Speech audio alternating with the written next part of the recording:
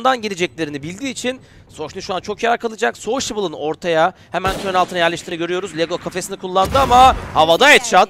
Muj'un bir mermilik canı var. Flash pick ama Vuu, Muj güzel bir hareket. Kendi flash ile killini aldı.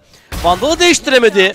Muj ekonomik hasar vermeye devam ediyor. Brasco fight istemese belki de daha iyi ama Brasco kill aldı. Ya Fireflux bu bay round'u kendi açısından 3 silah saklayarak çıkardığı için bence sorunsuz iyi bir şekilde kapattı.